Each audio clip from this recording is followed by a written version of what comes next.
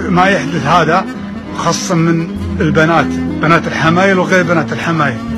هذا سطحية في الفكر ودعارة تمارس بشكل لفظي وهي حاجة سيئة في إطار القانون وهذا يدل على هناك مشروع للرذيلة يتم تأسيسه.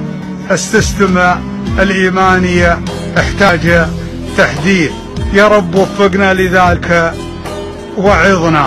الله رفعنا بالذكر ولا حديث ولا غفلنا عن حداها. خفضنا الانحلاليون صاروا مغاليث لردعهم. فلنتحد مع بعضنا في مجتمعنا عاهرات ومخاني كرمكم الله هيضونا. وهضنا. ما أقول هذا ولا سبب ندرة الغيث لكن نقول إنهم سبايب.